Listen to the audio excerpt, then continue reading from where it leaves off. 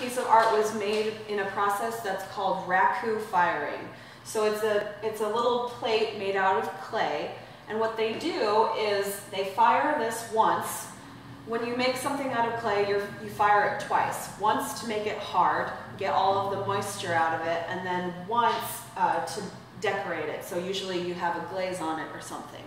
But this is fired a little bit differently. So after the first firing, when it becomes hard, like glass, what you do is you put it in a kiln and heat it up really, really fast. A kiln is like a big oven uh, for clay, for pottery.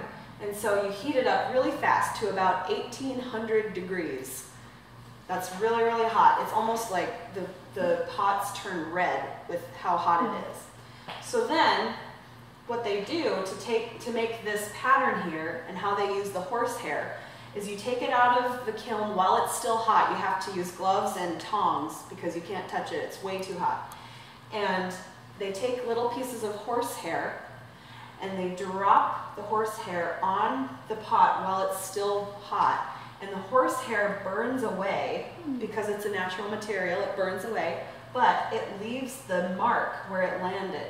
It leaves like a little burn mark, and that's how they got this design on this plate.